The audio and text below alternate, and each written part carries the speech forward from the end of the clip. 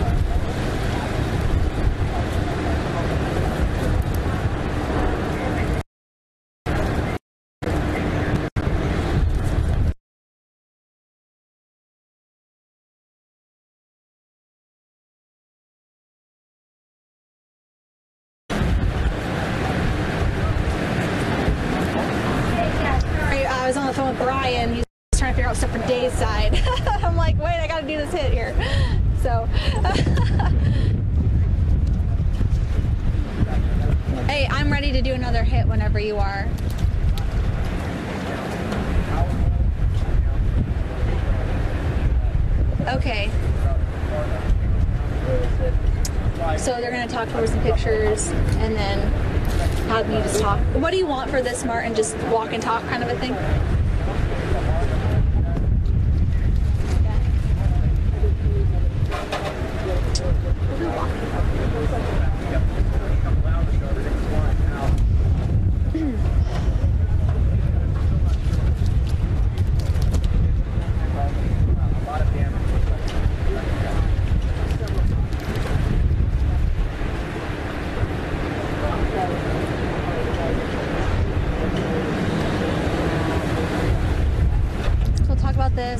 Show down here, and then we can walk up this way, talk about his business. So.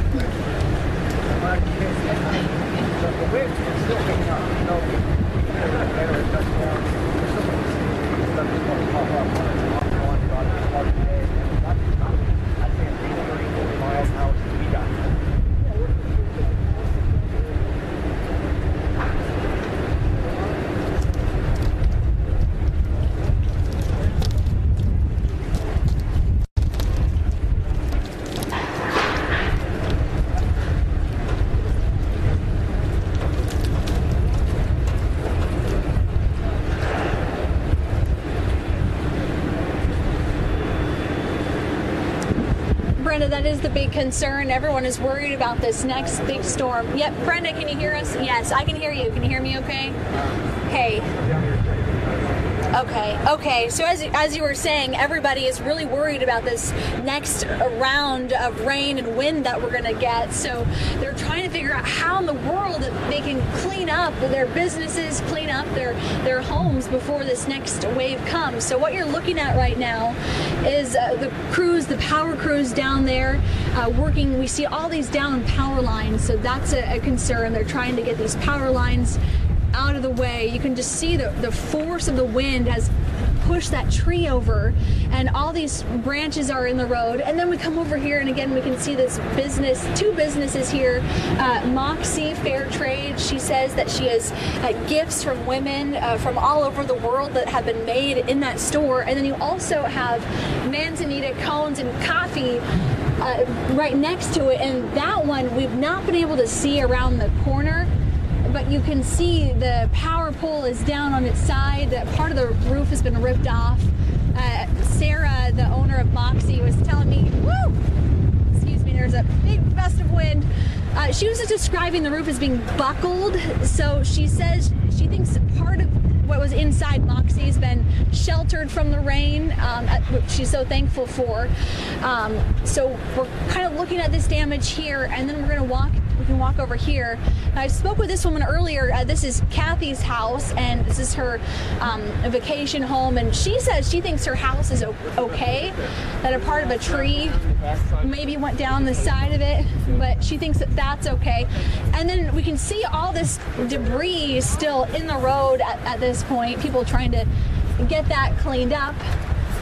You can see these big trees over here have been knocked over. Some of it has been chainsawed out of the way, so crews have been making their way, trying to clean up this area. And then again, we have this business over here, as we spoke to him earlier. He's been trying to figure out how to clean that up. We had an awning that he had up here earlier that he was able to take take off, so that's good. And you can see all the uh, shingles and just the pots and everything overturned. This fence actually has been uh, leaning in the wind here. So you can see they're trying to figure out what to do next.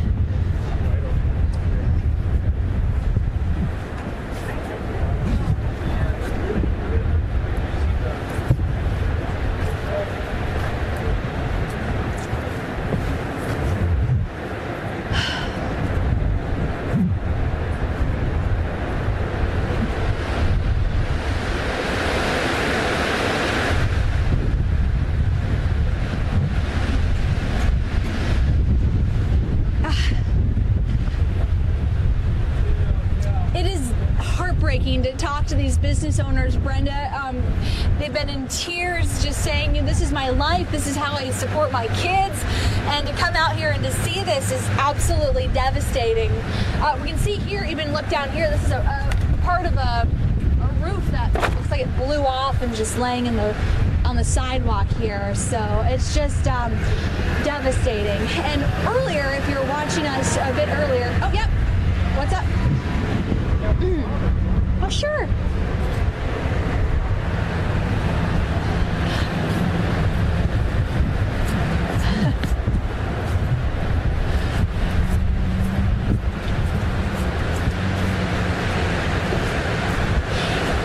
Yeah, that was quite a I was gonna bring it this way and show you. So we were standing over here. We were uh, interviewing this gentleman, and all of it. He was trying to get this uh, plywood up on the windows here, and then the gust of wind just knocked it over and almost knocked us right over. So it just goes to show you, even something as you know thin and as lightweight as that, and then the ladder fell over too. So we were like, oh my goodness, it's just It's just hard to see.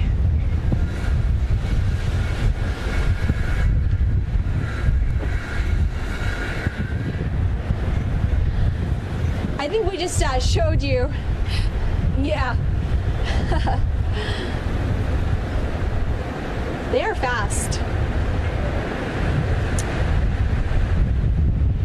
And uh, my uh, camera guy Louie, uh, my camera guy is trying to grab the the wood there to make sure we're all okay. I mean, just goes to show you. And even right now, it's not rainy. Actually, the the sun is starting to come out here, which is really nice. But it is windy still. We're feeling this wind kind of push us over at times, and it just goes to show you that this is still a dangerous situation because you have all this stuff laying in the road. You have all these trees toppled over. So it just goes to show you we've still got to be really careful out here today.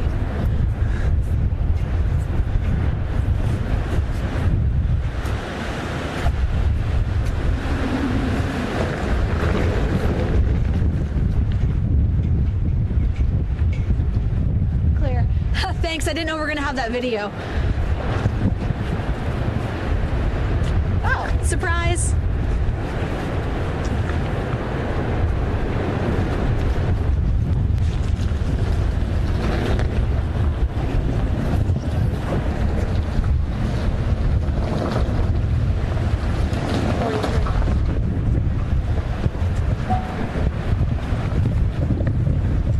So I'm shutting off my mic for a second. Okay. So Ryan, one of the producers, calls. He's like, "Hey, um, we really liked that interview that you did with that late um, with the store owner." I was like, "Okay." He's like, "Well, you turn something for Dayside for that?" And I'm like, "Well, isn't who's isn't someone coming out here to like take over? Like, when that this is where the damage happened."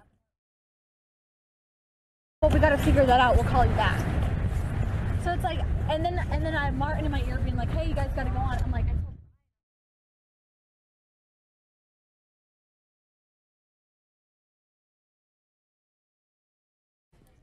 I'm Heather Bosch in the King 5 newsroom. You're watching live pictures out of Manzanita, Oregon, where a tornado touched down this morning. Unclear just how big it was, but you can see it did some damage, really roughing up a roof of a business there. It's toppled a telephone pole.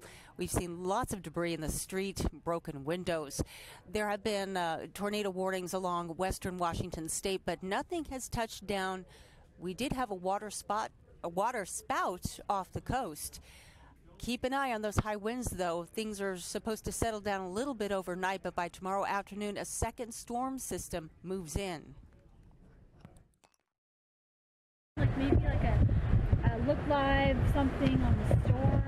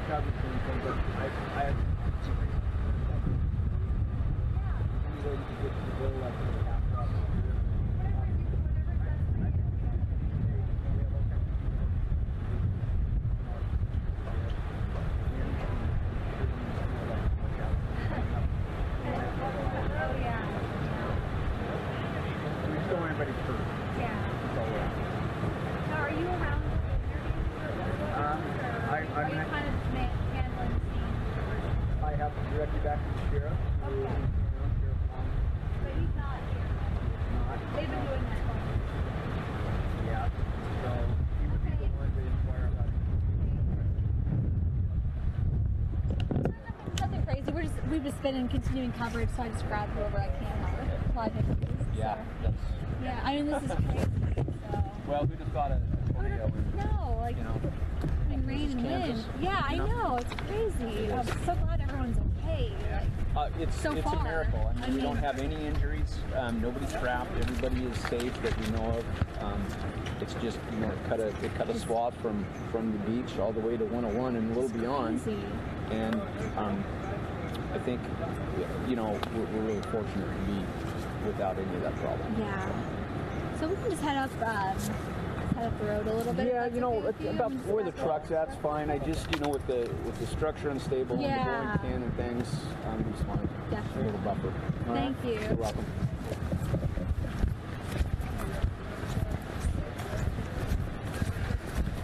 Hey, yeah, I can do another hit for you. We gotta move. We gotta move. I, I we got. We, we can do another hit, but we have. They're moving us back because they're worried about the wind.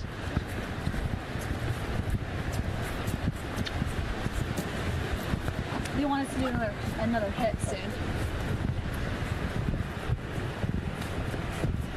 Uh, we can be ready soon, anytime, really. Get ready.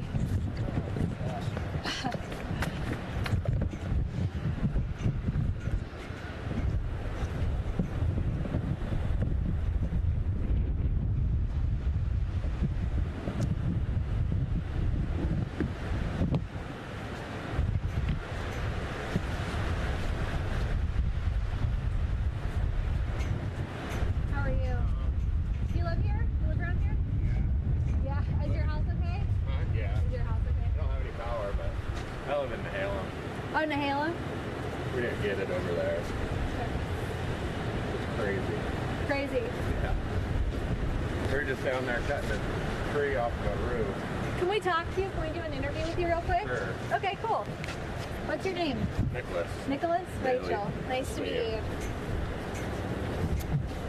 So we'll just wait a couple minutes and we'll just do a quick live interview with you. Yeah.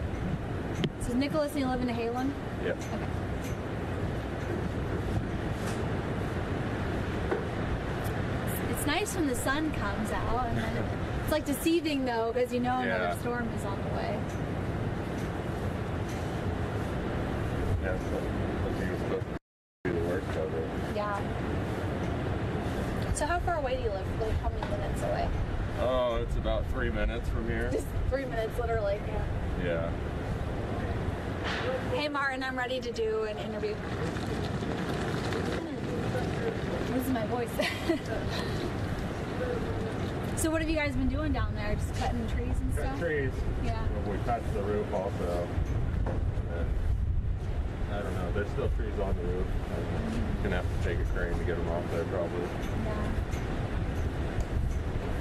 Do you know a lot of people here? Yeah, I know Your quite a family few. here, I don't have family here, but I've lived here for long enough. I know people that have lived here their whole lives and stuff. Yeah. Well, what do you think of this? This is crazy. Tornadoes aren't supposed to happen in Oregon. I know. Was waiting for um, our weather guy to round up coffee and let us say hey. Oh, s- stand by.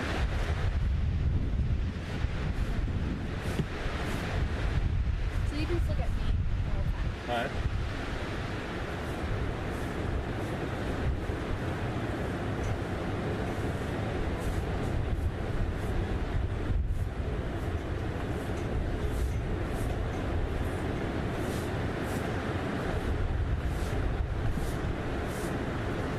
Brenda, people are saying it's a miracle that no one was hurt, no one was trapped.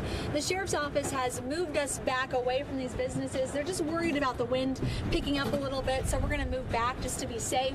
I'm joined here with Nicholas. Now, you're living in Nehalem, which is just a couple of minutes away from here. And what have you been doing today? I've been up on a roof cutting trees off of it, had to patch it, and trying to clean the streets up as much as we can. So, you know a lot of people here. Who do, who do you know?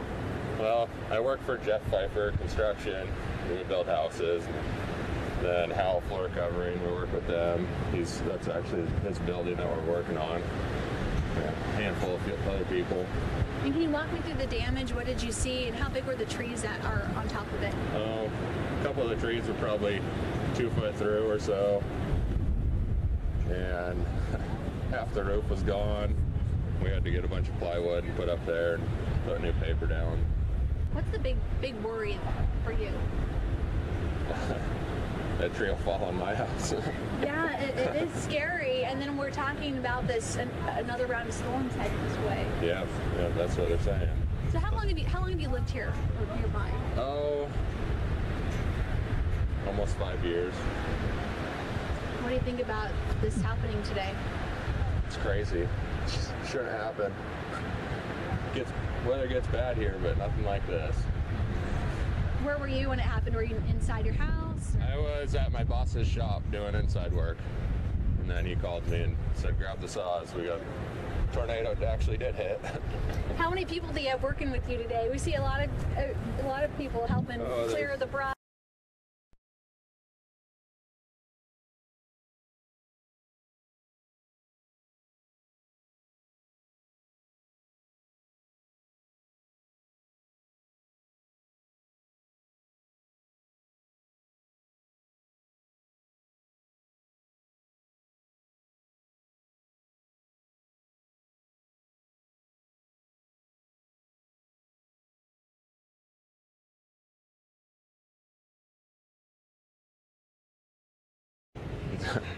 It's just a lot of work.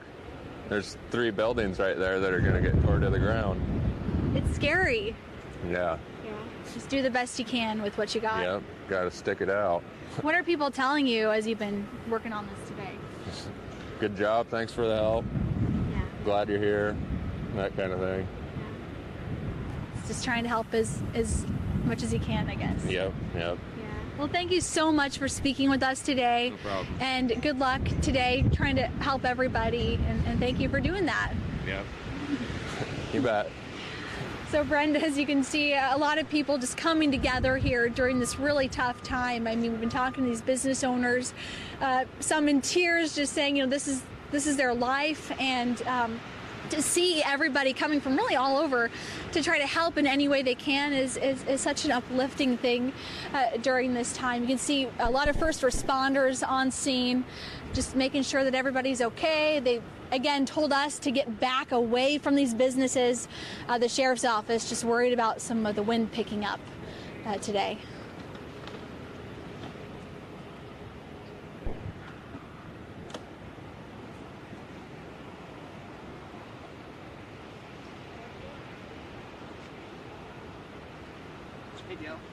Thanks. We'll still use live picks, so keep up the live picks. I'm clear. Hmm.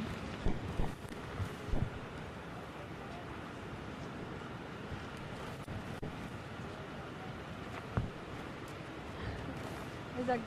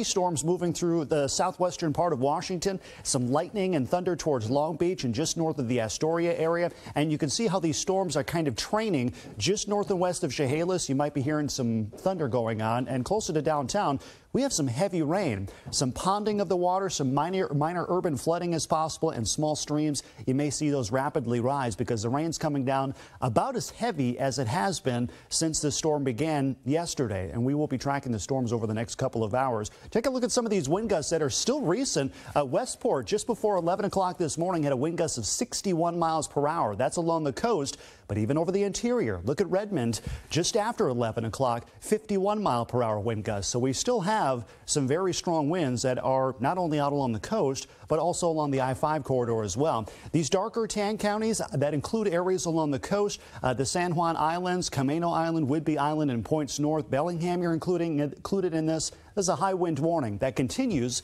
until 3 p.m. Wind gusts possibly up to 60 miles per hour. We always saw, or already saw that verified with that wind gust out towards Westport at 61 miles per hour. The lighter tan colors that include cities like Everett, Seattle, and down towards the Olympia area. This is still going to be a breezy afternoon, just not as windy. Until 6 p.m. tonight, a wind advisory continues. Wind speeds sustained between 20 and 30 miles per hour with some wind gusts up to 45 miles per hour. Just keep in mind, this is just the first storm. The second one, potentially stronger storm, is headed our way on Saturday. We'll time things off uh, with that one and show you when the best and worst times to be outside coming up in just a few minutes. Ben, all that the wind could certainly cause a lot of power outages. We're getting a lot of them now reported here at noon in western Washington from Olympia to Bellingham. Nearly 30,000 customers are affected.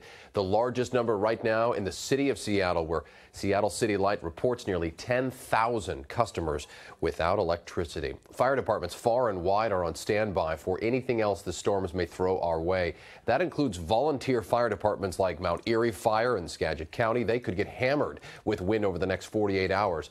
Lieutenant Brian Gear just told us it's all hands on deck.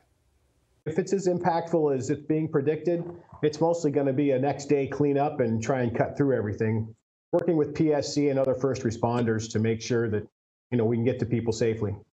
Now, if there are 40 mile per hour gusts, their protocol is to keep everybody at the station instead of calling them in from home.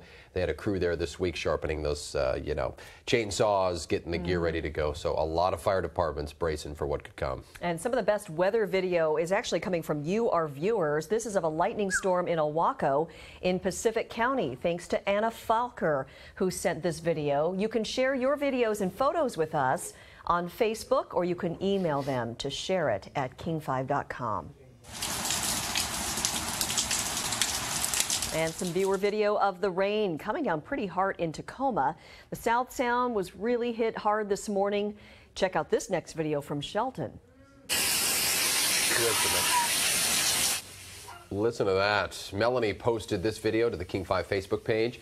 She said the only time she's heard it rain this hard was when she lived in Kansas and there was a tornado. Melanie says her front walk flooded as well. We've seen a lot of that. Taking a look at conditions outside right now, you can see, boy, uh, Lake Washington looks like the 520 floating bridge. Things are turning up there. Seen it worse. The new bridge is going to allow some of that water to do some splish splashing. Doesn't have to close the bridge so frequently when these storms brew up. King 5's Amy Moreno has been driving in the conditions and tells us what to expect as the day goes on.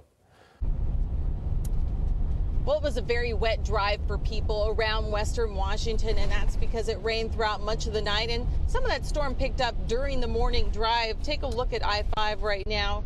Uh, you can see conditions are still pretty wet out here, and that's expected to continue throughout the day and really throughout the weekend. This morning, the drive got so bad. At one point, the southbound I 5 uh, drive between Everett and Seattle it was a two hour delay, and that was partly because of an overnight closure in the express lanes. But it was a bad backup that caused quite a lot of people uh, probably to be late to work because of all the issues with that. Now, at this point, they are telling us there is plenty more of this rain to come throughout the weekend, and people need to be careful no matter where they're going to be heading out. Uh, the ground is going to continue to get saturated, and we could start to see more trees falling down, more limbs in the road. So, uh, a warning for people as you head out this weekend. There is already quite a bit of water on the roadway, and conditions are expected to get worse throughout the weekend. So, be careful as you head out, especially as you head home this afternoon. In Seattle, Amy Moreno, King 5 News. There will be extra 911 dispatchers on hand in northeast King County for the storm. NORCOM is adding staff to take emergency calls. You should call 911 for emergencies like an urgent medical issue or electrical fires from down power poles, but do not call for non-emergencies like a power outage. Lot to get to today, and bear with us, stay with us as we give you the latest on the storm. Hello and welcome to the King 5 Newsroom Live. We have a storm moving in and as you know already some power outages being reported. Puget Sound Energy with a few hundred customers around the Puget Sound region, particularly in Auburn where there are a few hundred out, a few hundred in Snohomish County, 800 in Grays Harbor County. With me is Scott Thompson, Seattle City Light, thank you for joining me. What's the situation in the city? Uh, right now, we have about 17,000 customers that are out of service. Uh, most of this started picking up about 10 o'clock with some of the last gusts of this first wave of the storm. Right, you mentioned it's the first wave of the storm. A lot of talk about the storm coming in tomorrow. What do you want customers to know? Uh, the first thing that we want folks to, to know is that with the larger storm front that's coming in and the potential for extended outages, now's your, your last chance to prepare ahead of time. Uh, have that emergency preparedness kit put together with food, water, uh, blankets, warm clothing, um, flashlights, extra batteries, those kind of things, so that you can get through uh, an extended period of time without power at your home. Is there any way to anticipate how how many people will be without power? It, it, it's always going to depend on how the storm hits, uh, what the vegetation is. Our, our, biggest challenge with something like this is trees. Mm-hmm. Um, we have a lot of leaves that are still on the trees right now, which causes more of a sail effect. So they're going to bend more. There's going to be more pressure on those trees. And as the wind speeds pick up, greater likelihood that they uh, snap off, lose some limbs, or with the rain that continues, they could even just be pulled straight out of the ground. Oh, wow. How do you as a utility prepare for something like that? Um, well, we, we practice year round on, on our uh, incident management team and, and have our crews prepared to, to do this. Um, also, we trim about 600 miles of power lines each year in order to mitigate some of the, the impact when storms come in.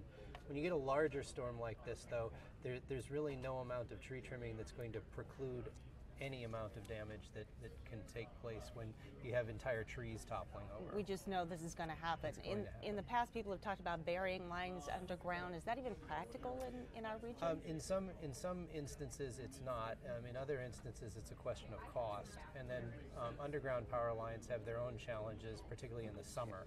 So um, right now we're talking about problems associated with winter. In, in the summer, you get those older uh, buried lines that have the insulation that is starting to crack, and we can see some problems there. We're taking your questions on our Facebook page. Go to King 5's Facebook page, Talking Power with Seattle City Light. So nice of you to join me, Scott. Yep. So I imagine you get a lot of people together when you know a big storm's coming. What's that process like? So we have uh, coordination meetings and conference calls with our operations team as well as with the National Weather Service and others. We're which helps us monitor the storm and then prepare our crews for what our attack plan is going to be. Mm-hmm. Um, it, some of it is just the timing of when the storm is going to come in. Uh, this one is, is head, the bigger one is headed towards the weekend, so uh, we're looking at whatever work that we had going on, uh, adjusting those crews into response mode and lining others up to be available. Um, additionally, we're making calls to our uh, fellow utilities in other areas where we have mutual aid agreements. So, as a kind of a heads up that if this thing goes big, we may be calling you for some assistance. If you're just joining us, we want to tell you there already are some power outages in the Puget Sound region, region a few hundred around, uh, especially in Auburn. You've got some issues there, 800 in Grays Harbor County. And Scott Thompson is here with Seattle City Light. How many in the city again? We had about 17,000 when I checked it before right. coming in. Uh, most of those were in the uh, Queen Anne, Interbay, Magnolia area, and then uh, some others uh, a little bit east of downtown over, over towards Leschi. Are there certain areas that typically go out when we see these kinds of storms? If you've got large trees in your area, you're susceptible to a storm like this. And so some of the areas that we're seeing there, um, you know, are, are prone to it. Also, West Seattle, um, Lake Forest Park, shoreline area, you know, those places with a lot more trees tend to see a lot more damage when it comes time to these big windstorms. Ruby says down in Federal Way they're seeing some hail. Does that cause issues for utility workers or? Um, well, for the workers it does. I mean, it just makes the job a little, little bit uh, you know, more uncomfortable. um, they work in all kinds of conditions. Um, they'll be out in the rain, in the cold, in the dark. Um, you know, the wind does affect their ability to work. They, if, it, if the sustained winds get above 20 miles an hour, you know, they have to hunker down and, and wait for that to blow over so that they can work safely on restoring people's power. Well, that's a good point. And we are, we are seeing gusts in some areas perhaps up to 50, 60 miles an hour. Um, are we talking sustained winds above 20 where they would exactly. have to back? And, okay. You know, but also when the gusts are up around 50, 55, 60, that's also in a, into a range where it's difficult for them to work. They'll do what they can. Uh, you know, but they have to work safely. It, it doesn't do us any good, uh, you know, to have those guys trying to do something where they could get injured and then not be available to get to the next job. Right. There is a lull expected overnight. Can utility workers go out uh, when it gets a little quiet, even though it's dark out? Yes, they'll work through the night, and uh, particularly if we get into a large-scale uh, situation with n- numerous outages, uh, we'll go on 24 hours. The the crews will work 18 hours on, take six hours of rest while the, ne- the next shift is coming in. Uh, Michael Kling is saying thank you for this information. You're welcome. So, what do we do if the power goes out? What's our first line of action? So the first thing that you want to do is to you know not use candles, use flashlights or, or lanterns because the fire danger? fire danger Yeah. exactly. Okay. Unattended candles uh, you know could turn your power outage into uh, you not having a home. Oh, you know, uh, yeah. which would, would not be good. So my friends at the fire department always ask me to remind folks of that. Mm-hmm. Um, you, you, the other thing to keep in mind is uh, use some of those emergency supplies that you have or other dry goods that you have in your in your pantry. Those things that you don't have to to cook to, to eat and Mhm. drink. Um, keep the barbecue grills outdoors. Keep the Yes. generators, if you've got one and, and go to use it, keep it outdoors in a well ventilated area. If you bring those inside, Mhm. you can have carbon monoxide buildup. Um, it's odorless, it's invisible. You won't notice it until it's too late, and then it'll be fatal. 10 years ago, when we had the Hanukkah Eve storm, I believe the most common, the most lethal thing during that storm was carbon monoxide. About a dozen people lost their lives just for that reason. Exactly. That's one of the reasons why we remind folks of that all the time. More folks have started to, to purchase generators for instances like this in, in, a, in an instance of trying to be prepared. Use it safely. Yeah, it's getting a little excite, exciting up in uh, Lynnwood and Edmonds, where Colby says they've got scattered lightning around. Does lightning knock out power once in a while too? It, it can um, because the, the surge from that electricity, uh, with, we have equipment in place, lightning arresters and grounding cables. But when it, you get a direct hit on some some specific equipment, it can cause problems that way as well. What do I do if I see down lines? I mean, I know I'm not supposed to touch them, but that's obviously going to be a really dangerous situation, right? If you, anytime that you see down lines, you have to assume that they are energized, and so stay well away from them. Um, you know, there's not a particular distance to tell you, but particularly in conditions like this, when the ground is wet, uh, that electricity can cover a much larger distance. Right. So um, stay away from them and report them. So if you're in your car and you drive up to one, stay in the car, Stay right? in the car because, the tires are going to provide you some Give you insulation. You're not going to create a, a new circuit by creating a ground. Yeah, Colby, echoing what you said about candles, I've seen the damage that can happen from leaving them unattended. Yes, exactly. Yeah, one thing we did at my home when my sons were really little, I gave them each a little flashlight. Yes. And I think for kids especially, when the lights go out and the thunder and lightning is going, it empowers them a bit. And, and then you've got someone else helping you out during the storm, no matter how small. If you've got small children and you can turn this into uh, a, an opportunity to have a little bit of fun with the power being out, it can make that time go a lot easier um, rather than amplifying the stress for, for little people. Um, I remember as a kid, we would camp out in the living room and pull out the Scrabble board and do other things like that until the power came back on. Wow, are you from the Pacific Northwest I'm, area? I'm from the Midwest. Oh, but- so yeah, well, you have power outages there as well. I like that suggestion. The key to having a good time, I think, during a power outage is, is preparing, right? It's about being ready. And one of the things that, that takes place with with a storm like this, um, even if you take the time to put together a preparedness kit now, and you don't experience an outage from this storm, uh, that doesn't mean that that effort went to waste. Uh, because living in the Pacific Northwest, winter storms are, are a fact of life. Mhm. Uh, if it's not this weekend, you will experience one at some point, and and all of that preparation will be put to good use. Absolutely. Let's remind folks one more time what kinds of things we want to have on hand because, uh, you know, aren't power outages inevitable at some point? At some point, you're going to experience one. Uh, so you want to have a three-day supply at a minimum of food and water. Uh, you're going to want to have a, a space blanket, one of those mylar blankets, uh, some warm clothing, um, and uh, a flashlight with extra batteries. Uh, a battery-powered or hand-cranked radio is a, another good item. And you can get a full checklist as long, uh, along with other tips from our partners, Take Winter by Storm, at their Yeah. website, takewinterbystorm.org. They're great. We had a long conversation with them. Uh, let's recap again in Seattle. We, we're already seeing some power outages, correct? Yes. We have about 17,000 customers that are out of service right now. Um, and we, as we look forward, we still have this second wave of the of the storm fronts coming in uh, late tomorrow evening. Colby with a message to you, Scott. Thank you for all you do. It's nice to stay up to date on my lunch. we really Oh, you're welcome, appreciate Colby. this. This, I hope, makes your job a little easier.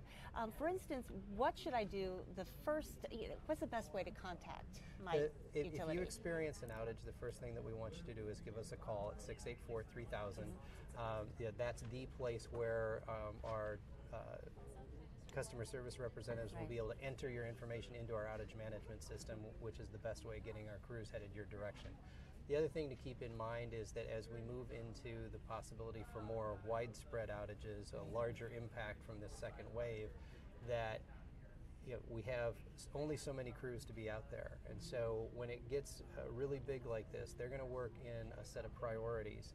They're going to start with life safety situations like a live wire that's down near people. Okay. The next thing that they're going to move to is providing service back to emergency services like hospitals. After that, they're going to do those repairs that bring the most customers back at once. And so they're going to start on those feeder lines that serve about 3,000 customers. Then they're going to go to the laterals. Then they're going to go to the transformers. And then they're going to go to the individual service lines that go to your house. So if you're in a spot where the damage is a tree on the service line and you're the only person out on your block, you could be one of the last people that come back into service. Uh, in, in a large storm, that can be a long wait, which is why we urge people to get prepared now. Is there a way to get an ETA from my local utility? If you check our website um, at seattle.gov forward slash light, uh, we have an online outage map where you can follow all of our restoration efforts. Uh, if it gets big, you know, some of those estimates are going to be, uh, you know, taken off, and until we can get, you know, a crew out there, you may, you know, have a little bit less, uh, you know, specific information, just because of the volume of outages that we could be dealing with. Right, and we're already seeing outages. Many of the utilities have a similar system. If you go to their website, a few hundred Puget Sound Energy is handling throughout the area, 800 in Grays Harbor County. We'd expect that because they're closer to the coast, and 17,000 here in Seattle as well, correct? Correct. How dangerous is it? Dangerous is it for your utility crews out there when it's like this? I mean, this is nasty. Well, safety is our first concern, um, and so we're not going to put our crews into a situation that is unsafe, but we're going to monitor the weather, and as soon as we have conditions that are safe enough for them to be out there, they're going to be out there. They gear up for it, um, and they prepare for this kind of thing, but they will work in the dark and the cold and the rain because they know how important it is to get people's lights back on. Yeah, we were talking to Rich Marriott earlier, and he was reminding us that we really haven't had a windstorm as big as the one tomorrow's predicted to be in about 10 years. Right. So there's a lot of extra vegetation.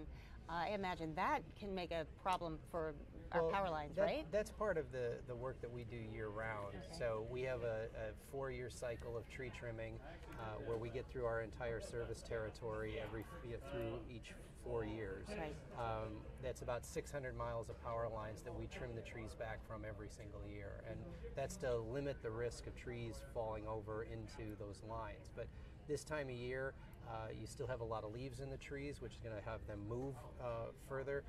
You also have just come out of a fairly dry summer, and you have any of those weakened branches um, that died off, they're still up in there. These are the storms that are going to break those branches out and have them drop down. And when that happens, you know, unfortunately, the power lines tend to be the first thing that catch them. Yeah, I think 10 years ago, what was so brutal was that we had power outages and then it got so cold. That was in December, and it, it just was brutal. The, the, the biggest problem that led up to that storm, the Hanukkah Eve storm in 2006, was that we had had three straight months of measurable rain. So the ground was super saturated, and when you had that, that big wind come through, the, the trees didn't have any anything solid to hang on to, so they were just being uprooted uh, and toppled over. Uh, that caused widespread outages, and then you're right, it did get cold afterwards that's one of the reasons why we talk about having that warm clothing and those extra preparations in place ahead of time. What does uh, City Light recommend people do if they are in a situation where they know they're going to be without power? Maybe they're a remote location, as you as you mentioned earlier, and uh, maybe it's a vulnerable grandparent we're worried about with power out. Is there is there any agency that you would recommend they contact? Well, those are the in those circumstances you definitely want to be planning ahead for you know what are you going to do in that event. You need to think about those things well in well in advance so that you have somebody who is going to check on that person. And uh, one of the availabilities is to look at our outage map and see where are those areas that have power. Um, in a smaller event, uh, it may be a short-term piece, but in a, in a larger event, you can still get yourself over to a hotel or a friend or a relative, someplace where you know, they can stay warm. Any way to know how bad this is going to be when it comes to Um, outages? Rich is going to have a much better idea on, on that than I am, but because we're watching him and, and, uh, and others to see what's coming, uh, we're really in the monitoring mode. I, I can't take a wind speed and turn it into a number of outages, but we do know that when we get into the kinds of speeds that are being uh, in the possibility range Right. here for Saturday, that we could have a significant number of outages across our service territory. What I seem to be hearing from you, Take Winter by Storm, our great meteorologists, is look, just expect to have the power go out. Just be ready because it happens. It's The, the possibility is there. Um, I think the difference with this storm uh, that's coming and some of the others that we might have is that, uh, like this first wave, this, this first wave is a fairly typical winter storm. And so seeing 17, 20,000, uh, even 30,000 customers that are uh, out of power in a single day, if that was it, we would have all of those customers back within about 24 hours. When you get into a larger event with hundreds of outages, um, in 2006 we had 197,000 people without power. That event took us nine days to get completed. So those are the kinds of things that when you step into this bigger type of storm that we're, we're you know, staring at the possibility of, those are the kinds of things that you really need to be prepared for. But the folks who are just joining us should know that you do have mutual aid, right? You've Yes. got other crews in other areas on standby to come assist. Right. Um, th- th- there's a- storm like this is not something that any utility is ever going to be prepared for. So um, when Superstorm Sandy hit New York a few years ago, we sent crews across the country to help them. Um, with this storm, if it's as bad as it could be, um, you know, we're going to call on some of those those other folks that are out there to come and help us. So charge batteries. If you've got a cell phone, uh, if you've got an electric car, uh, if you've got any uh, other device that you know runs on electricity that you can charge up, you know, try to keep it on the charger and keep it uh, you know fully stocked up. Uh, you know, if you've got you know uh, time now to get gas in your in your you know in your regular car, keep that tank full for your ability to get around. Because if you go to the pump uh, in an area that is without power, those pumps aren't going to operate either. Oh my, I remember driving back from New Jersey to New York after Superstorm Sandy, and there were lines of cars stretched out all the way onto the freeway from people trying to get to whatever gas station was still working. We saw something similar Hanukkah Eve again 10 years ago. So, right, fill that gas tank, get uh, get your batteries charged up. And my sister, who weathers hurricanes occasionally in Florida, says, "Do your laundry." Yeah. He says, he says after a few days, and you've got little kids, you'll be you'll be waiting for that laundry to come back online. That's right. Wow, amazing conversation. Uh, Monica reminding us via Facebook it's a storm, not just rain.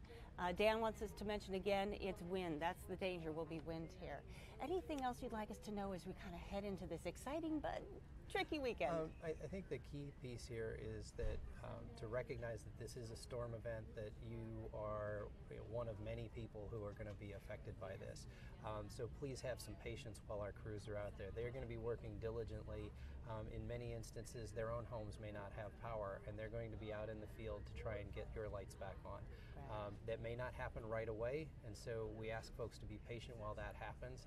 They are going to be working through those priorities that we described as the way to get the most people back into service as quickly as we can. The utility crews, I think we, we don't always think of them as first responders, but in this case, when you get a storm like this, they're out there. They're doing their thing. Absolutely, and you know, any just about any service that you can think of depends on electricity to run it, and so um, we, we, it's a priority for us to get that back in service. Fantastic. Anything else we should know, or?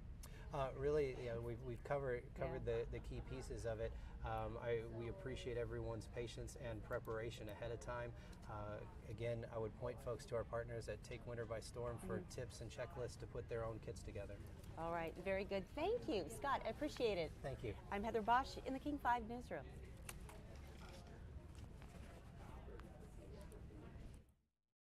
This is a forecast look for wind gusts as we head into Saturday evening. Notice the timeline here, 7:30, and look at how strong these winds are. At least forecast winds all across the sound, wind gusts potentially over 50 miles per hour. And this is what's concerning us so much with this second system is it could make a big impact down trees, power lines.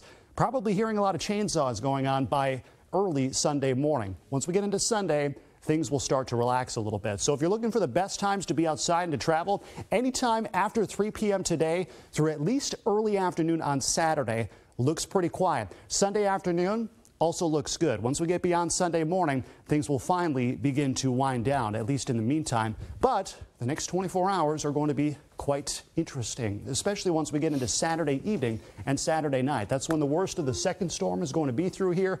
Still breezy on Sunday, but the showers will gradually begin to exit and still wet as we head into early next week, but nothing like what we're looking at for Saturday evening. So that's kind of our focus uh, over the next 24, 36 hours. Okay, you guys are busy in the Weather Center tracking nonstop, that's right. Thank you, Ben. Well, another look at our top stories straight ahead, including the damage caused by a powerful storm in Oregon. Hear from one of the first people on the scene there. We'll tell you why this new bridge across Lake Washington is better suited for this kind of stormy weather. And good news if you want some Cuban cigars, the restrictions that are now lifted next at noon.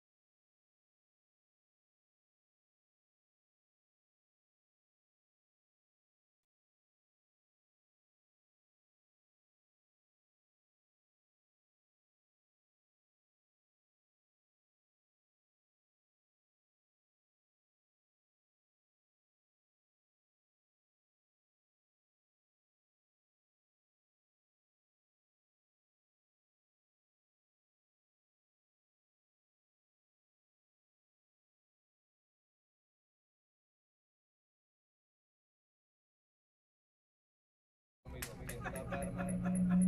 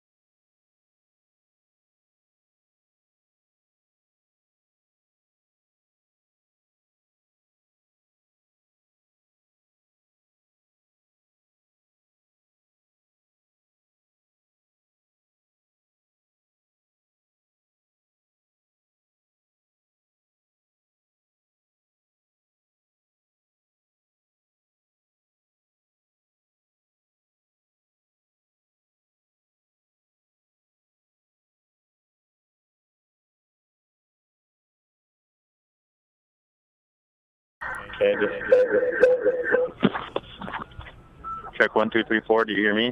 Check one two three four. All right. So if someone dials in,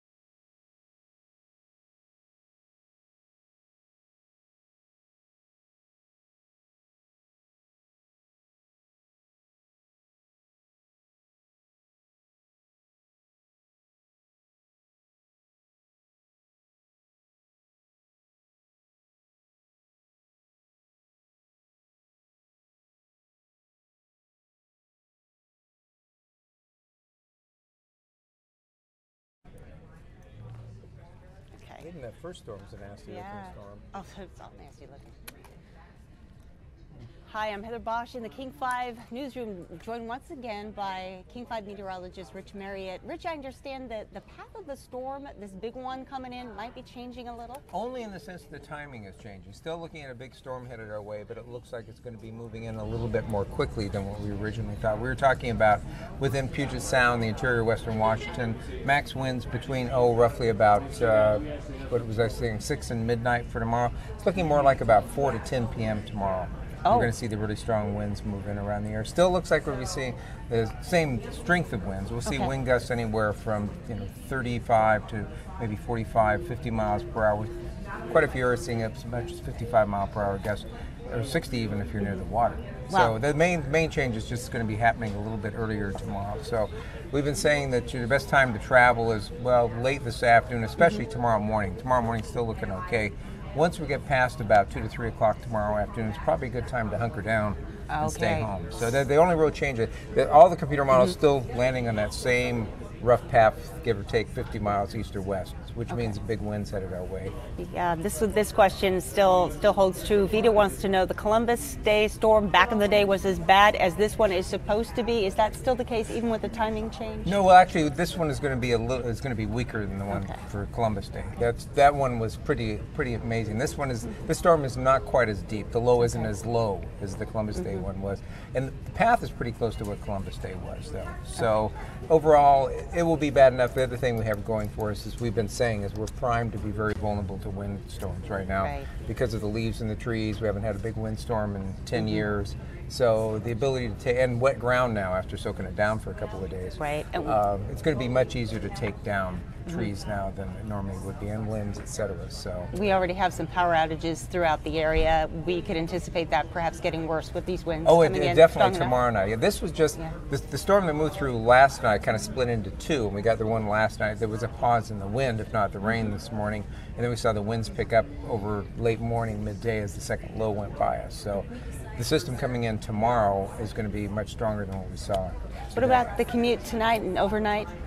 Well, all things being equal, the weather is calming down out there. It's not raining. A little bit. Yeah, it's not raining as hard now, and the winds are beginning to diminish. So that Yeah. should help, but you never know with Seattle traffic on a Friday afternoon. It's never good. But the weather will be cooperating a little bit this afternoon. And again, if you need to go do something, mm-hmm. tomorrow morning shouldn't be any driving problems at all, at least not from the weather. But by the early afternoon, this I would say anywhere after about two o'clock or so, you probably you might be able to stretch it out a little bit beyond that. But on the safe side, I'd want to be home and just kind of watching us as we head Yeah. towards you know three to four o'clock tomorrow afternoon. So it's going to be hitting us sooner than we thought, and she's going to be big. it's going to be it's Yeah. going to be a really interesting storm. All right.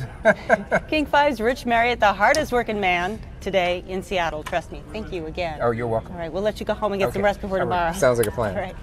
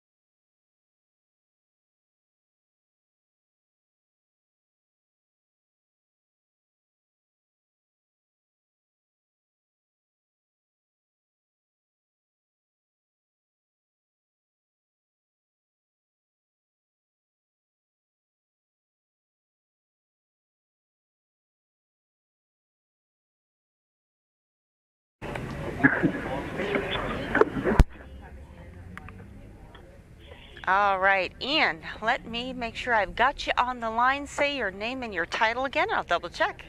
Ian Sterling, I-A-N-S-T-E-R-L-I-N-G, and I'm the Public Information Officer for Washington State Ferries. Or spokesperson will do it too. Fantastic.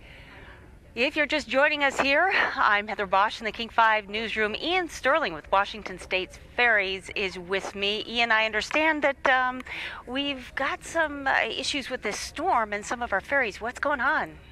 Well, I don't know if there are issues at this point in time, but it's definitely a rough day out here, and obviously we're keeping a real close eye on what's going to happen uh, with this potentially larger storm over the weekend.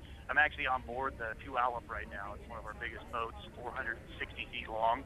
And I can tell you that on the way from Edmonds to Kingston, I'm on the return trip now, but on the way over, uh, the seas were rough enough that the captain did get on the intercom and ask people to stay off the um, outside decks. They are closed off right now.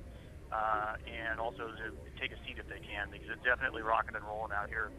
Well, Not a good day to come out for a ferry ride if you get seasick. Oh my god, I was just thinking of that. Grab the Dramamine. But but on a more serious note, how much punishment can these ferries take in this kind of weather? you know, our crews are highly, highly trained. Years and years to become a ferry boat captain. Um, the boats are big. They're built to handle this type of a thing. Uh, that said, at some point in time, if the captain decides that it's not safe to sail, we will cancel sailings. Uh, most likely places to see that happen, uh, probably Port Townsend, Coupeville. It's a lot more exposed up there, kind of like looking down the barrel of a gun when you've got the uh, Strait of Juan de Fuca there, right into Admiralty uh, Inlet. Uh, and the vessels up there are smaller as well. So if we see cancellations, they'll likely start there. Um, the San Juan Islands also sort of the same issue. It's very exposed. And then Mukilteo Clinton, it gets rocking and rolling up there as well. So any uh, delays, though, is that possible in this kind of weather? You know, best thing to do um, is check our Twitter feed, follow us on social media, um, watch King 5 News. I know you guys are up on that stuff as well. Um, and that's kind of the near real-time way to find out what's happening out on the water because conditions do change rapidly. We've seen some delays, um, you know, due to this storm, mostly due to power outages, local power outages um, that shut down traffic lights and things, make it harder to get vessels uh, filled up. The other thing that we do um, is take fewer cars, so we won't fill the boats all the way to the bow, so that we do take um, some water over the front of the bow that don't directly impact the uh, uh, vehicles on board. Oh, that's just so the de- vehicles themselves would not be uh, damaged or impacted, not anything to do with the actual ferry trip, right? Yeah, so, you know, what can happen is, and this does happen from time to time, it's very rare for us, but once in a while um, we'll get a wave that comes over the bow and that can slam into a car and cause some damage to a car. So we don't want that to happen. When we know it's going to be rough like it is today, what you'll see is that the first 50 feet or so of the ferry is not filled up. We'll leave that empty. So if the wave comes over the bow, it just washes harmlessly over the car deck. Gotcha. What should we know? Uh, what should commuters know, and uh, just people who want to go away for the weekend tomorrow? Because we keep hearing that the storm is going to be a big one, and we're also hearing that it might be uh, hitting us earlier in the afternoon, like two and three in the afternoon. Yeah, so, you know, as I said, follow us on social media, sign up for our rider alerts, which you get by email. Uh, watch King 5 News, whatever you need to do to keep yourself informed. Obviously, if you get seasick, probably not the best day to take a ferry boat ride. I can tell you that I'm out here headed back to Edmonds now on the Puyallup, and it is literally rocking and rolling. There are some big waves out here and a lot of whitecaps, uh, and we're bouncing around pretty good. And visibility is really limited out here. You can barely, in fact, I can't see Edmonds right now um, from this side of the water. All right, if you're just joining us, we're live with Ian Sterling of the Washington State Ferries. Let's just recap. So, if people are concerned about getting home via ferry today, what should they know? Well, follow us on social media, watch King 5 News, sign up for our rider alerts. We'll get word to you about what's going on out there. But obviously, if it becomes unsafe to sail, uh, we listen to our captains and we will not do that. Uh, that said, it's rare for us to cancel sailings. Um, these vessels are designed to take this kind of weather. Now, tomorrow's storm could be a different story. But this evening, especially in the core uh, routes, the Central Sound routes, so Edmonds, Kingston, Seattle, Bremerton, Seattle, Bainbridge, those routes we don't expect to see um, any cancellations. It is possible if it gets really big, and it is uh, also possible that you'll see delays, especially if there's local power outages.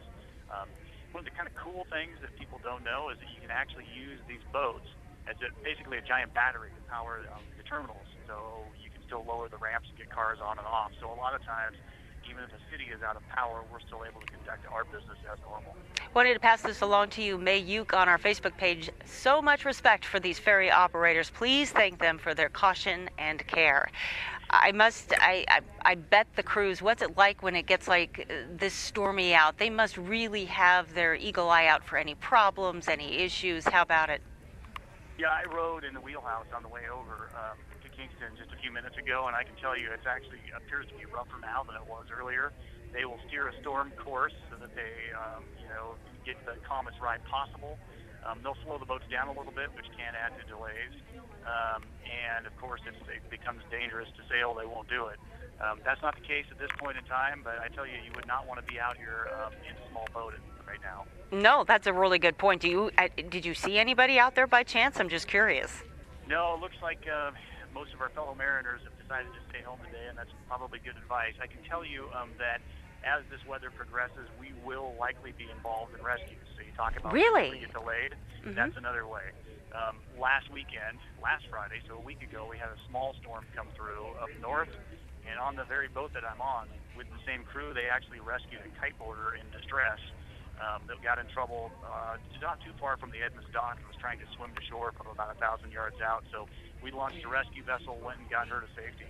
Wow. And that's the type of thing that can happen. A moment ago, I heard um, chatter on the radio that there was reports of a uh, of a windsurfer down um, off of Richmond Beach. And I don't know if that turned out to be the case or not, but it is possible when those things happen that we'll get called into action, and our highly trained crew will have to go out and uh, save somebody. Yeah, just stay with the big boats in this case. Do they actually launch a boat off of the ferry, or does the ferry have to maneuver around? Yeah, it, you know, there's a variety of things that happen, but the most common in the case of that kite surfer rescue that I just told you about, we have rescue boats on this vessel, um, and they're able to launch these small, rigid hull uh, inflatables with an outboard motor, put a couple of crew people in, and that can get pretty exciting too for the crew because you put two crew people in, and then lower it basically with a crane over the side uh, with the with the guys in there, and so that can get um, it can be it can be pretty exciting for them, especially if the boats are moving up and down with the waves that we have like today. Yeah, I have to imagine our guys on the, and gals on the ferries are very well trained, though, right? They they know that this may happen. Yeah, this is something that they train for uh, all the time. They do rescue boat drills, they do man overboard drills. Every single one of the people on the deck here has gone to fire school, so they're all trained firefighters in case there's a vehicle fire or something else on board. So these folks are highly trained, they're highly competent mariners. It takes years and years to become a ferry boat captain, uh, and there's a reason for that. All right, so ferries are running, but keep an eye on, on schedules through social media and King 5 and Washington Ferries. But you might want to pack along your Dramamine because it's a little rough out there. How is, how is your ride other than that? I love that Edmonds to Kingston route.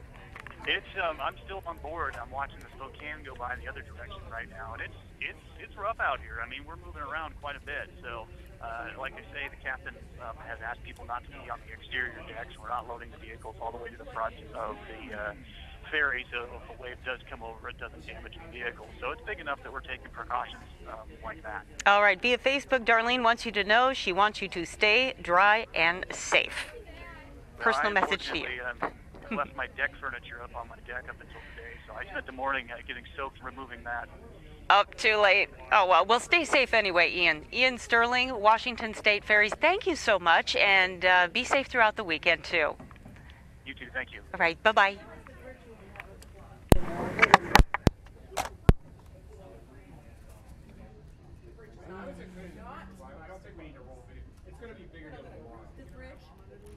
What? I mean, it's never going to close anymore. Okay, 520. Do we have that in a rim that I can throw in? Dot cams. You should be able to punch up dot cameras. Okay, give me a second then. I've, I've just finished this interview, so I want to be able to. So what do you got dot cams here? Don't you have it? Um, here we go. Wash shot cams. So you can just punch up. As long as they don't change it, you're fine. Because we've only got that Ah, one. perfect.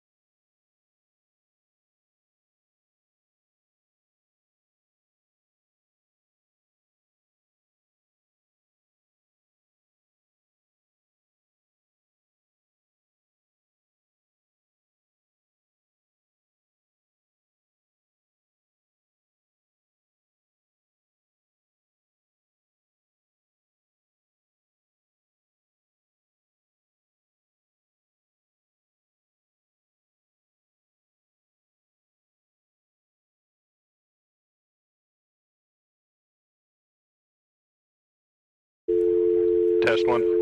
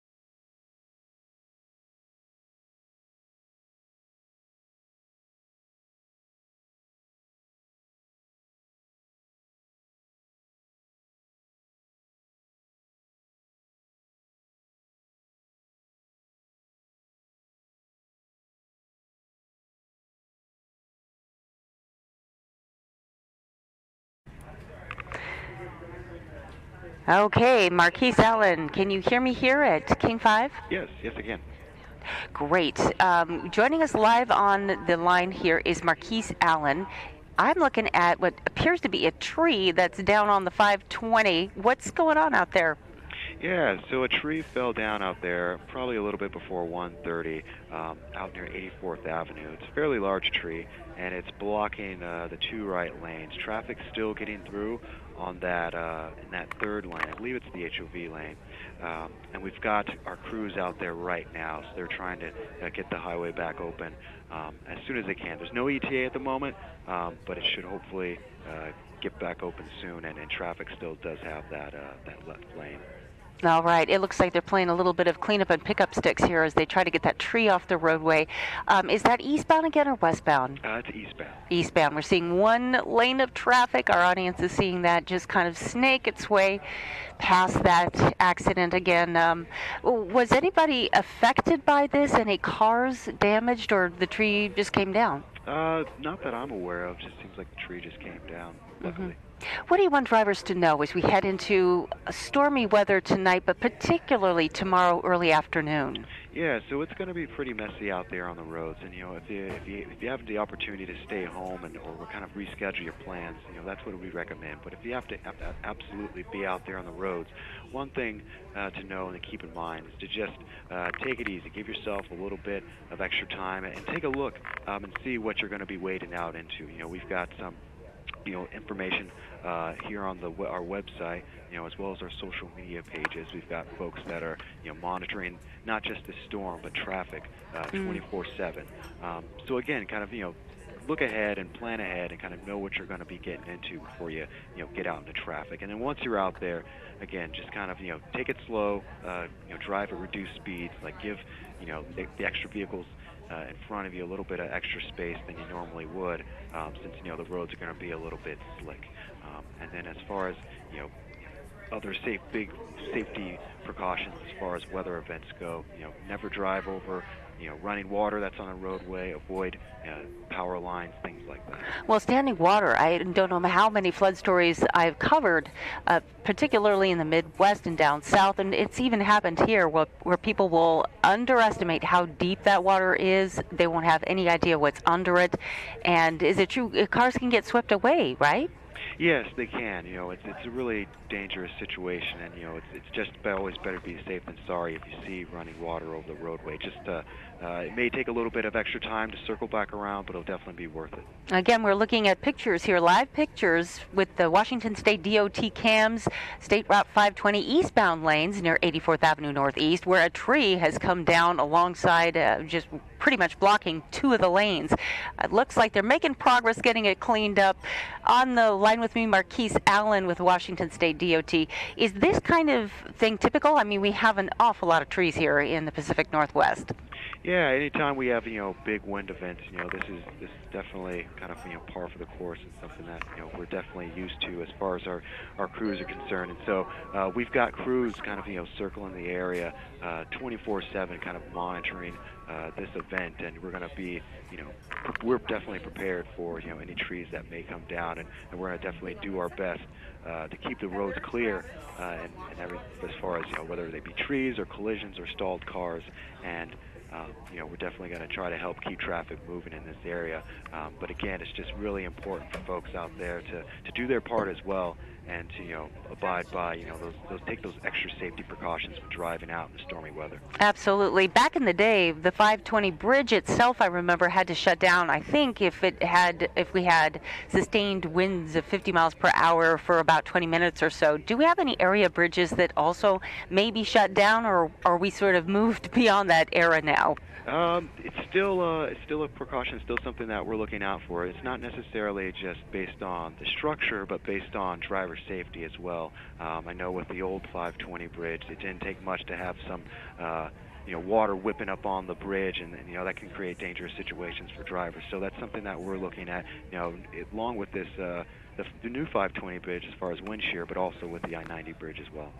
If I see something across the road and I'm thinking, man, that's dangerous because we know this is going to happen. You know, if not today, it'll, by Sunday morning, there's going to be stuff in the roadway. What do I what do I do? Who do I call? Uh, we definitely recommend that folks call uh, 911. You know, this is kind of a collaborative effort with everyone, and, and you know, with uh, WSP is going to be you know one of our partners, and they'll be able to kind of help us out and guide us to you know locations where uh, there may be you know collisions or power lines or down trees or anything like that that folks may come across. I have to tell you, we're, we're getting a reaction from our folks on, on Facebook. Cindy Tangman saying they're going to need a bigger truck to deal with that mess. I, I'm sure the DOT, I, I'm sure, Cindy, that they will, will have it well in hand. They have several vehicles out there, too. Again, you know, we're looking at 520 eastbound near 84th Avenue Northeast, where a tree just toppled on over. And on the line with me is Marquise Allen, who's telling me, you know, this, this happens. You have to kind of watch out for this. What will our um, audience encounter when they commute home from work today? So much of what we saw yesterday or different?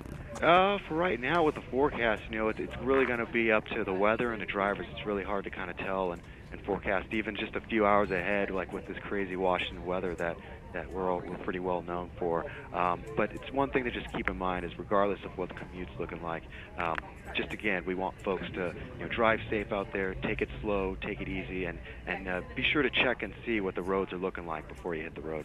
Good advice, particularly with this big system that we're expecting to come in tomorrow early afternoon. We're hearing it could be maybe not as quite as bad as the Columbus Day storm um, in 1962, but it could get pretty rough. What kinds of things would you advise drivers to be aware of if they decide to venture out at that time? Um, just the just the basics, you know, as far as you know, keep an eye out for you know again the, the standing water, uh, the down trees. Uh, and one thing that you know is really important too that I that I should also emphasize is to stay focused on the road. I mean, it, we should always stay focused on the road, but it's really imperative to stay focused um, when it's in the stormy weather and the winds are whipping around, and you know it's kind of a little bit makes driving a little bit more challenging when the the wind's kind of you know kind of knocking you around a little bit. All right, very good. Anything else we should know as we uh, head off into what's going to probably be a very stormy weekend? Uh, well, just one last plug, I guess, for uh, this afternoon commute. Um, our presidential candidate Hillary Clinton will be in town, so that's something that you know drivers will also have to contend with. So that's just one more thing uh, that folks would should really look out for is uh, before you hit the roads, just make sure that you're getting online and seeing uh, seeing what traffic's looking like.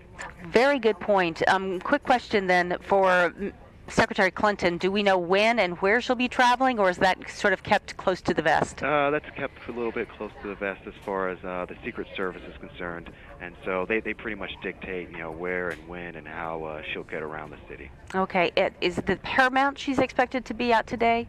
Uh, I apologize, I can't recall. But anyway, if you're in the Seattle area and you're seeing, do they they block roads off for those types of events? Yes. Okay, so be on look out for that. Look out for rain. Look out for Sharknado. No, that's a joke. That's okay. Sorry, it's going to be a long weekend for all of us. Marky, anything else you'd like to add? I think that about covers it. All right, you're awesome. Thank you so much. Thanks. It was a pleasure. Take care.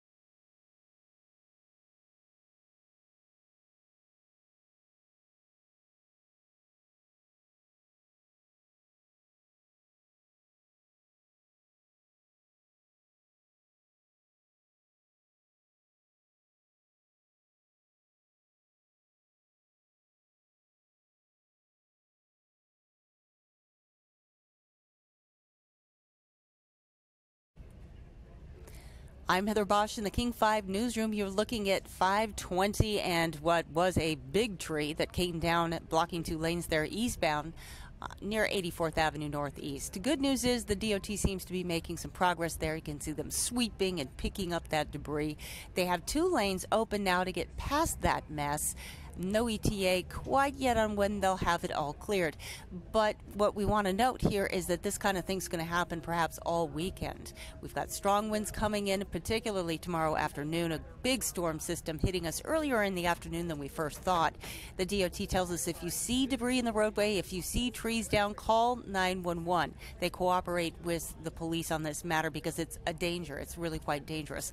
So just go ahead and call 911 if you see a tree down or for heaven's sakes if you see um, some kind of uh, live line, some kind of electrical line now down, that's the kind of ty- thing that happens that you want to call 911. Okay, so we also checked with the DOT when it comes to ferry traffic. We're told that they don't anticipate having to cancel ferries right now. They say their vessels are very seaworthy, their crews and captains are excellent.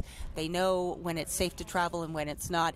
And right now, they feel that they can run those ferries back and forth and they don't have any plans to cancel. Having said that, they are going to take precautions. They may put fewer cars on a ferry, and that's just to keep the water from hitting those cars. It sort of puts them in the middle where they're more compact. So that might affect you. Perhaps there could be delays due to electrical outages. They can't get the traffic lights to work, so you may see delays because of that. But as far as seaworthiness, the DOT says they do expect those ferries to be running. One more time, you're looking at 520 eastbound, a tree down, the DOT sweeping it out of the way. Keep an eye out, especially Sunday morning, for a lot of debris after that big storm that's expected to move in. If you see a tree down, if you see a power line down, call 911. I'm Heather Bosch in the King 5 newsroom.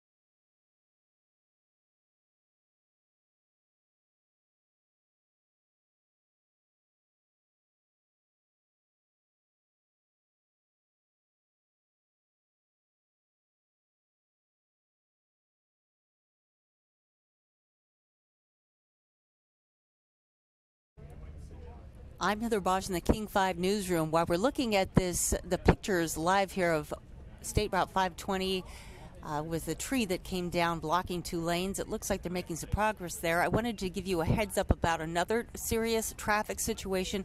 Bainbridge, I- Bainbridge Island Fire says there's a partially blocked roadway at 6687 Bayview due to, due to multiple trees down. Wires are involved. Puget Sound Energy is en route. So, again, that incident's on Bainbridge Bainbridge Island, partially blocked roadway at 6687 Bayview. Multiple trees down, wires involved. Stay out of that area. Pacific Puget Sound Energy notified.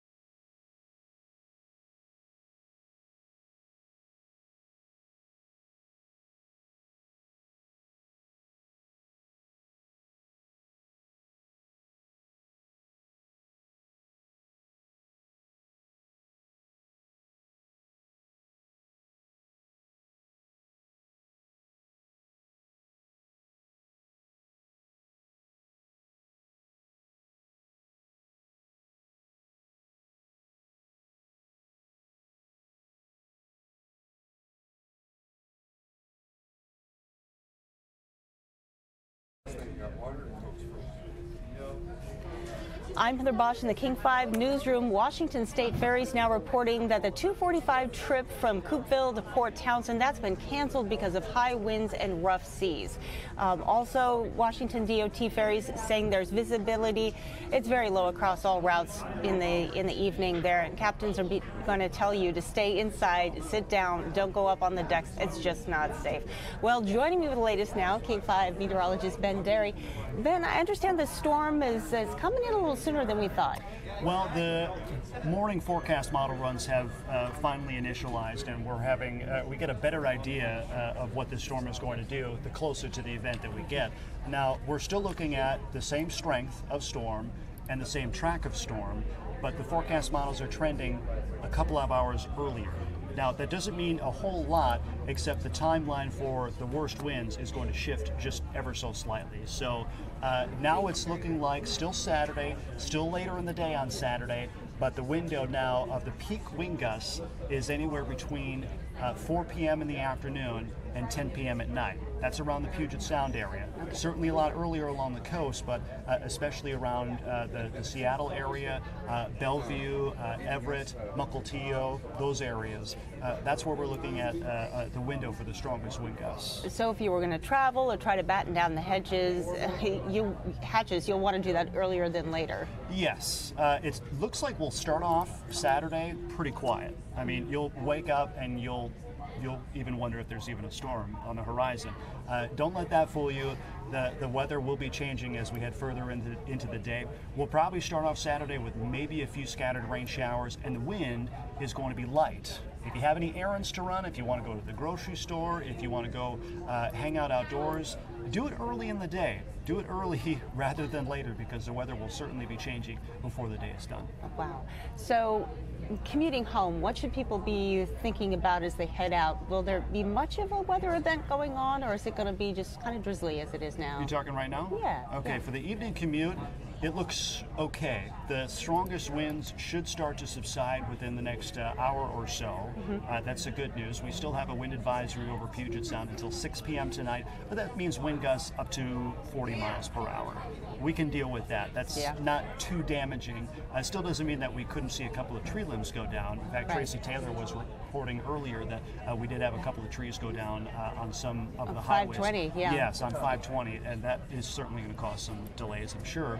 Uh, but as far as the evening commute goes, yeah, it'll be breezy. Yeah, there will be some heavy showers from time to time. Uh, you're looking at radar right now. Uh, most of the lightning fades as you head inland. Uh, the Olympics did see a couple of strikes, and we did see quite a few strikes down towards Chehalis. But the heaviest rain uh, is starting to taper. You can see the last couple of frames of this loop. Right now, it's down towards the Tacoma, Puyallup area. That's where you're seeing the heavier showers, but these are going to be uh, fairly short-lived. And as we head further into the evening, looks like a, a pretty quiet setup. Nice, but don't get complacent because round two is coming tomorrow afternoon. What time again are we thinking? Well, uh, the rain starts to move in likely by midday, and we're not talking just the scattered showers, but the steady rain uh, begins to move up along the coast. Mm-hmm. Uh, and the rain will likely be with us for a good chunk of the afternoon.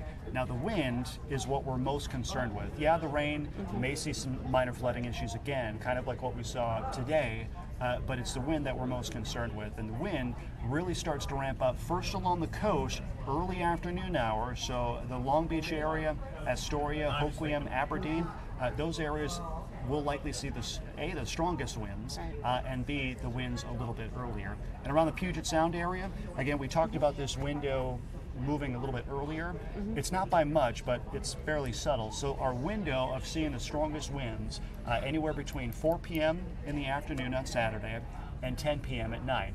If you have travel plans, I would avoid this time because mm-hmm. these wind gusts mean business. We have not seen winds this strong uh, in the last couple of days. Uh, so we have seen some strong wind gusts the last mm-hmm. 24 hours. We haven't seen anything like this yet. Uh, so that window is kind of where we're at. And one thing to know, probably the most important thing, is uh, even though the window is six hours wide, mm-hmm. Uh, the actual duration of the peak winds probably not going to be that long. We're okay. looking at maybe one to two hours of the winds at their peak before they calm down again. Not entirely, but you know that window of uh, time when the winds could gust anywhere between 50 and 60 miles per hour. That's fairly short-lived. but the window as to where that's going to happen is anywhere between 4 p.m. and 10 p.m. Wow. So once it starts in your area, you can cross your fingers that maybe it's only a couple of hours of, Yes. of some scary wind happening there. It's uh, it's important to know too, but th- th- that's the uh, exact same setup as the Columbus Day storm uh, uh, back in 1962. It was a devastating wind event, but it was also very short-lived. It was about an hour or two of peak wind gusts, and then it quieted down. This one's a, not as expected to be quite as intense. Is that that correct? Is Well- that 62 storm, or are all bets off? to be fair, uh, the system hasn't really developed yet. Uh, forecast models are showing that the winds would indeed be less than what it was during the Columbus Day storm. And of course, they were caught off guard. They didn't have the True. technology that we do now. They didn't have the forecast models to show us that the storm was going to be bad.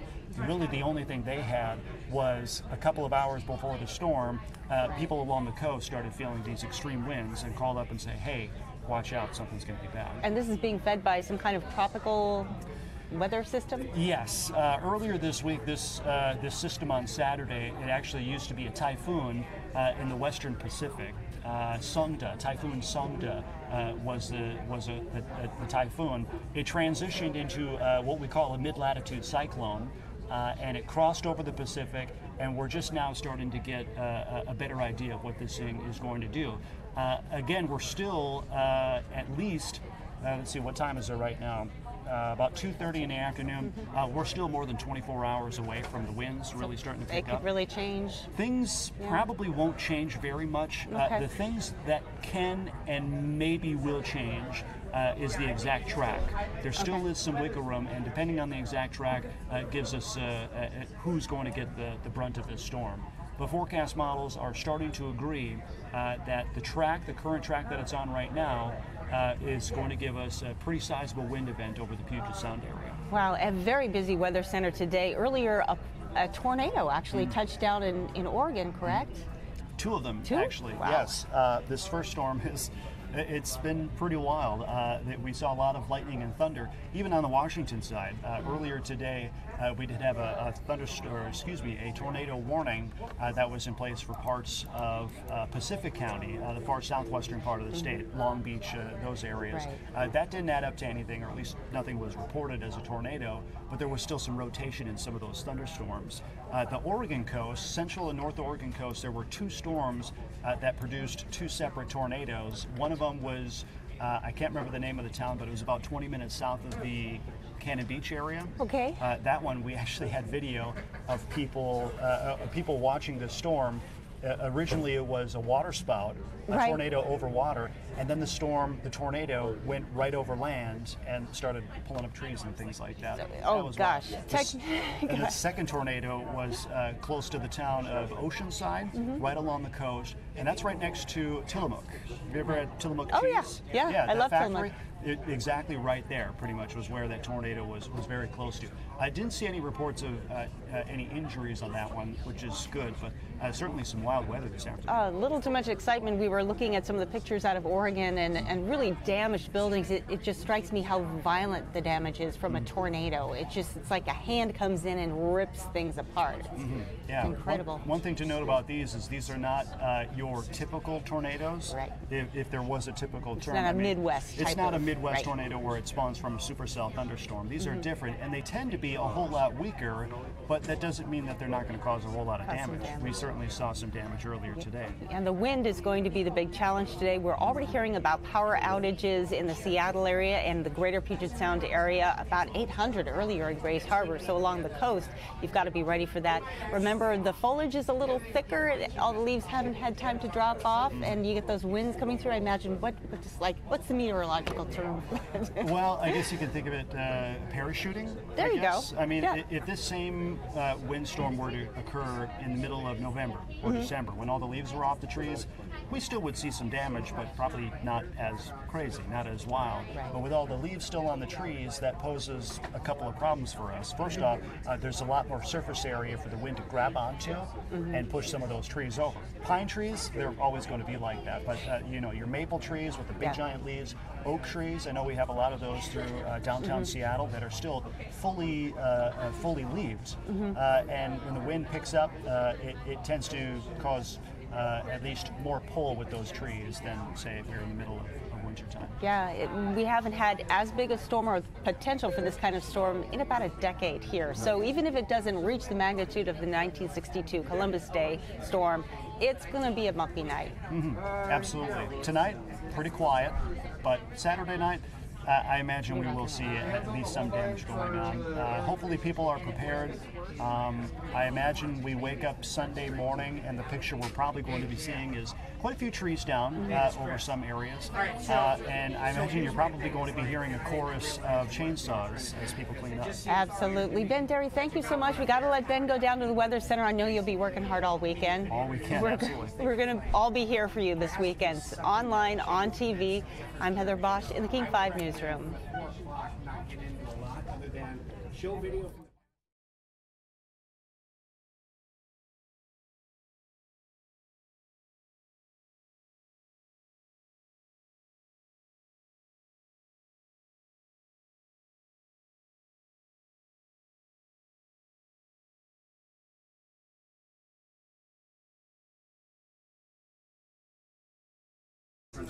Heather Bosch in the King 5 newsroom wanted to give you an update that 245 trip from Coupeville to Port Townsend on the ferry that's canceled because of high winds and stormy seas. Um, visibility very low on all routes we're hearing from Washington State ferries. So the captains are closing the outer decks. They're asking you to stay seated, stay off the decks, keep it inside for the commute home. So again, the 245 trip from Coupeville to Port Townsend, it's canceled due to high winds and stormy seas.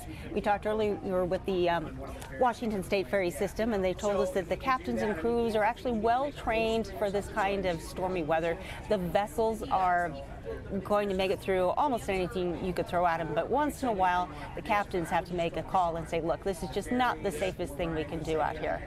So uh, just one more time, the 245 trip from Coupeville to Port Townsend canceled because of those high winds and stormy seas. I'm Heather Bosch in the King 5 Newsroom.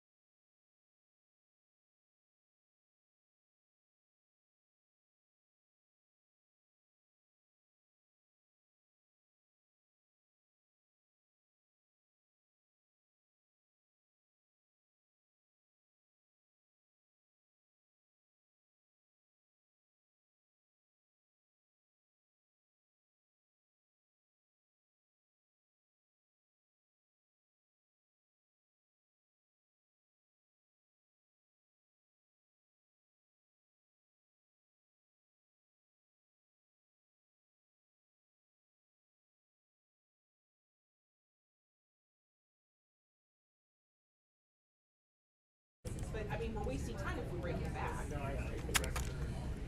Hi, I'm Heather Bosch in the King 5 newsroom with some breaking news. Seattle Fire is tweeting out that there has been an accident involving a falling tree branch. This happened in the 9100 block of California Avenue Southwest in West Seattle. A four year old sustained serious injuries. The father of this child has minor injuries, both being transported to Harborview Medical Center. Again, this is from Seattle Fire responding to reports of a tree branch falling in West Seattle. This happened at in the 9100 block of California Avenue Southwest. A four year old sustained serious injuries and is on the way to Harborview Medical Center. The father of that child sustaining minor injuries, also heading to the hospital right now. We have a crew heading to the scene and we will bring you more information. But word to the wise here, we're seeing a lot of trees coming down earlier. A tree fell into 520 on blocking eastbound lanes. This is a big hazard with these systems that come through, especially this time of year when there are a lot of leaves on the tree. They can block that wind and just get pulled down. Uh, we want you to be safe out there. Lots of power outages out too. Tonight things should calm down a little bit into tomorrow. The big one hits us in the afternoon. A, a storm with winds that could equal to what we saw 10 years ago with the Hanukkah Eve storm. Um, some people have been pro- comparing it to the Columbus Day storm that was deadly back in 1962. Others say they don't think it'll be that bad. But there are injuries happening, there are power outages happening. Again, we're just hearing uh, Seattle Fire responding to a tree branch that fell down, hit a four year old boy in West Seattle, injuring seriously that little boy. Uh, his father sustained minor injuries. They're being taken to Harborview Medical Center. So be careful out there. Stay tuned. We will give you an update on the um, West Seattle incident as soon as our videographer gets there. I'm Heather Bosch in the King 5 newsroom.